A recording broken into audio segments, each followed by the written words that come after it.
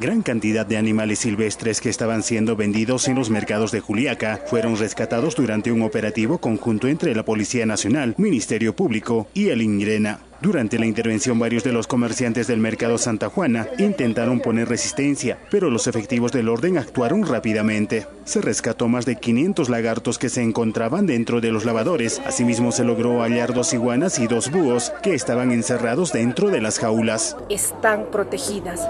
Estas lagartijas que ven ahora se encuentran protegidas y ustedes están viendo en la cantidad, en la gran cantidad que existe.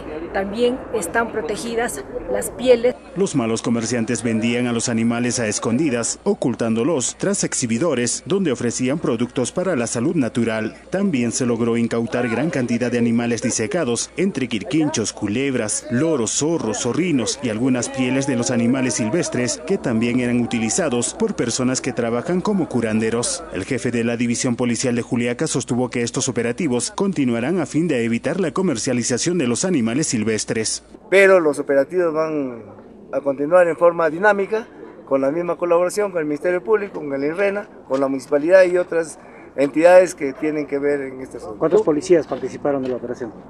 Bueno, hemos participado, eh, Radio Patrulla, que tenemos un promedio de 60 efectivos, la UCE que tiene un promedio de 60 efectivos. Se advirtió que en los próximos operativos se detendrán a estos vendedores, quienes serán denunciados por el delito de tráfico de animales silvestres, cuya pena llega hasta los dos años de cárcel.